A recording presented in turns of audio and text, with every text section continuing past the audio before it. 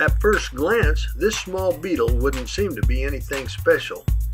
Slender and elliptical, it's just another small bug in a world full of crawly things.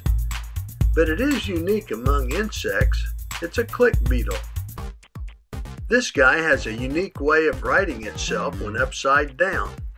It clicks.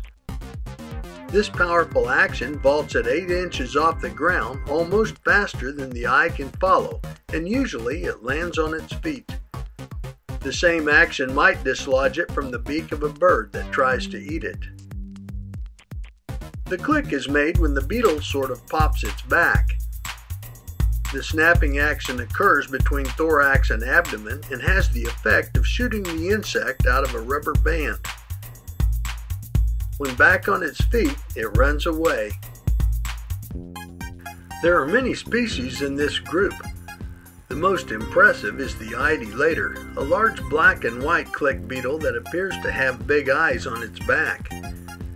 Click beetles are attracted to sweet sap bleeding from trees or from a sugar solution painted on trees and bushes and checked with a light at night.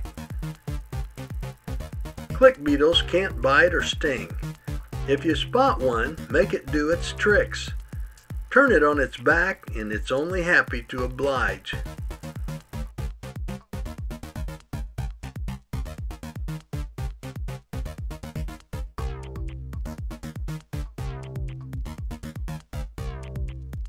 I'm Mike Blair in the Kansas Outdoors.